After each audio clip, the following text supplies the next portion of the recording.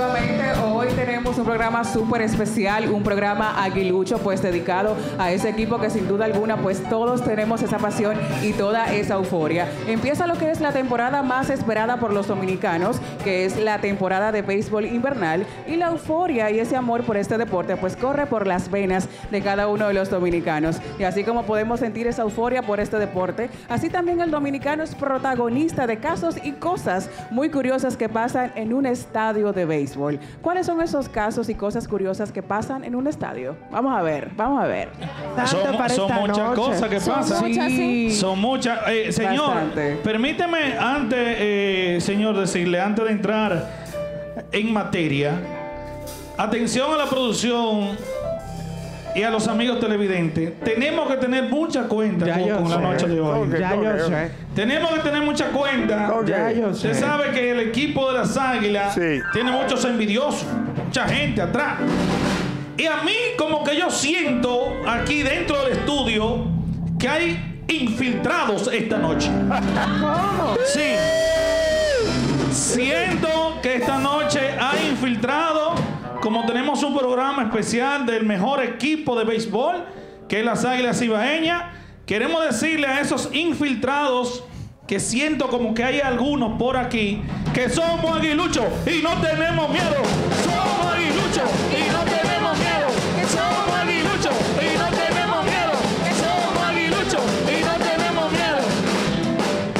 Sepa, Coco, tenga cuenta que hay infiltrado aquí. Lo grande del caso es, lo grande del caso es que esos infiltrados conocen a carta cabal lo que se llama profesionalidad. y aquí gracias. estamos. Sí, representando orgullosamente ¿A quién? a los liceístas que son profesionales. ¡Ay, a los Y que tigueritos! por trabajo se visten así. Si aquí hay una gente, si se aquí hay una gente que es que es águila de corazón, Sí. águila de corazón, esa persona.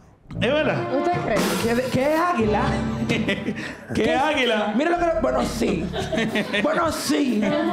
Una cosa como que tú digas, wow, qué águila, qué águila, no. Pero sí. Pero sí. Lo grande del caso es que soy una águila que no conoce la pelota. Ay, Pero, Él pero conoce sí el lo guante y el bate. Pero sí lo bate. Mira, eh, vos, por favor.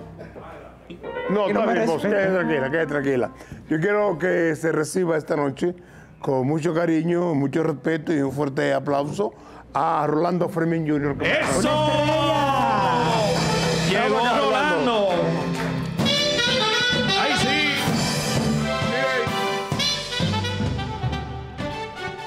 El tema de la noche refleja cuáles son las cosas Casos y cosas y cosas. que suceden usualmente en el estadio. Muy bien, Rolando, buenas noches. Buenas noches, buenas noches, gracias como siempre.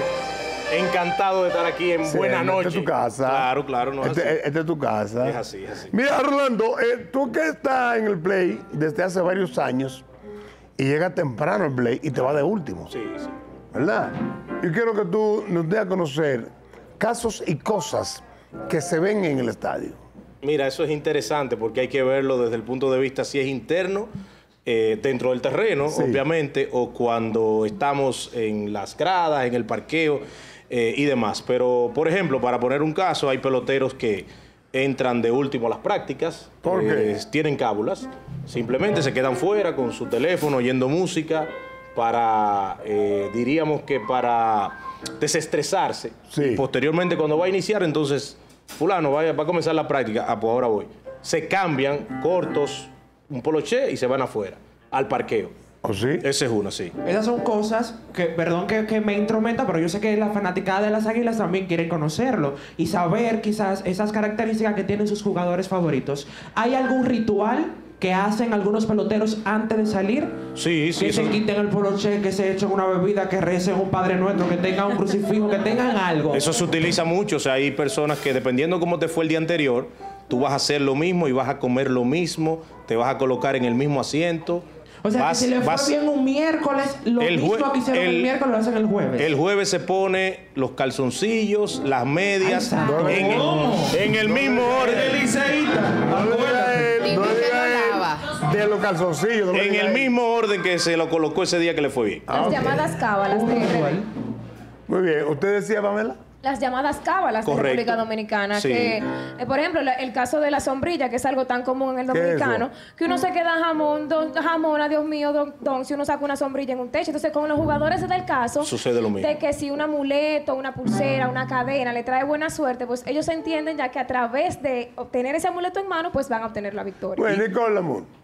Bueno, sí, hay muchísimos casos y me gustaría, ya en la parte, por ejemplo, que disfrutamos los que estamos en casita, la transmisión especial que se hace antes, después, desde el terreno de juego, cosas que te han pasado, algo eh, que tú, tú- si tú lo comunicas, la gente ni se lo imagina.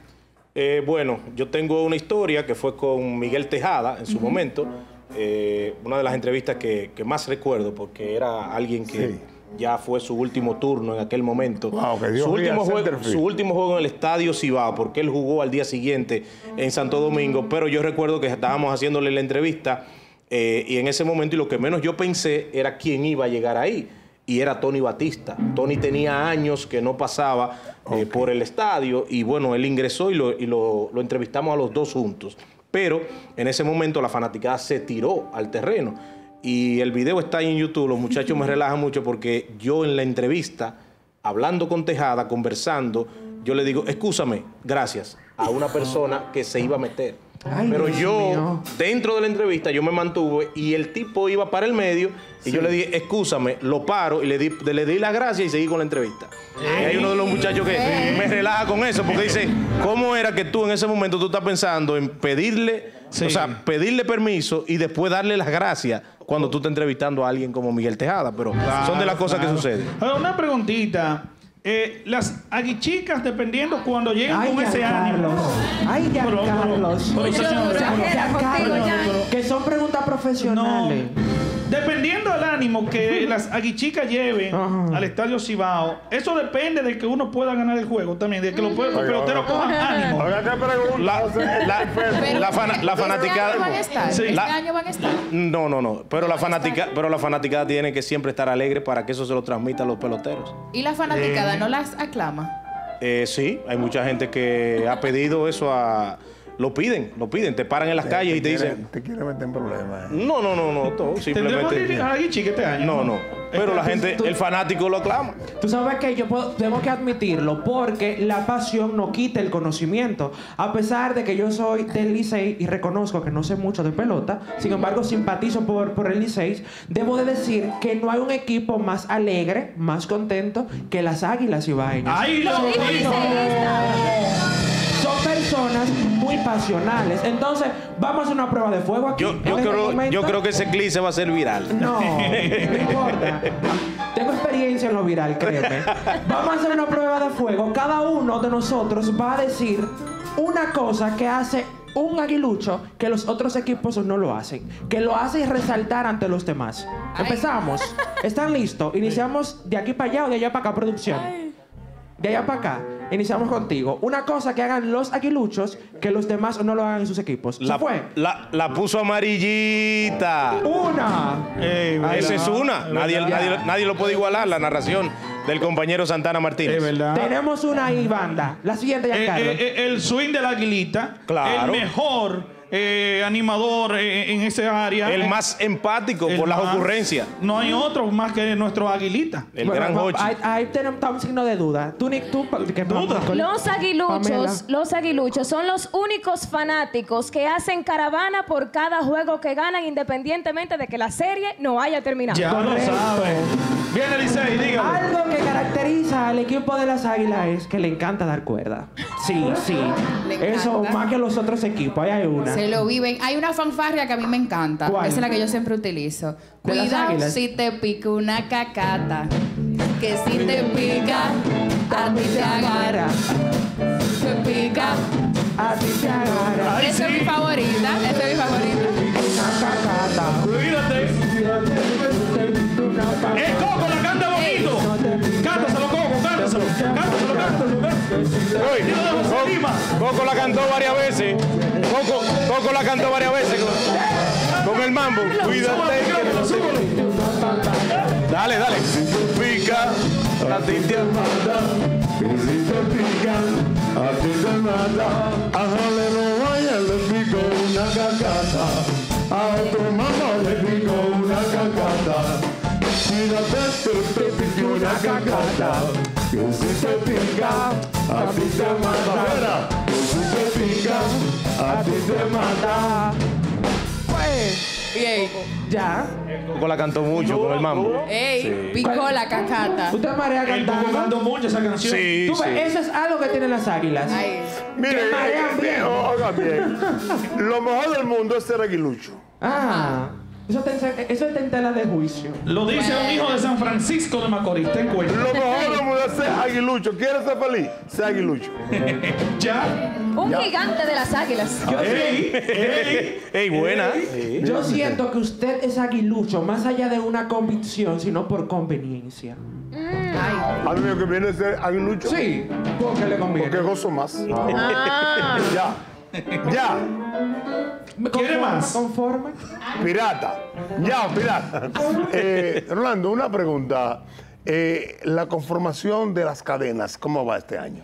Bueno, eh, tú sabes que la profesionalidad que impera dentro de la organización eh, de Águilas Ibaeñas, pues eh, una, un equipo de, de larga data donde debo dar las gracias porque el más joven que ingresó eh, a, ese, a ese cuerpo de comentaristas, pues he sido yo y se mantiene. Se mantiene Santana Martínez, Kevin Cabral, Rolin Fermín, eh, Don Mendy López, Andrés García, eh, que estará en la voz comercial en televisión, y Rubén Santana, que también está ahí en, en radio junto al compañero Juan Santiler, y yo que estaremos ahí en la, en la transmisión. Bueno, ya lo sabe todo el pueblo. Estados Unidos, Puerto Rico y más allá, esta noche pertenece al equipo de las Águilas Cebaeñas aquí en Buenas noches. Uy, para, para, pedí, pedí.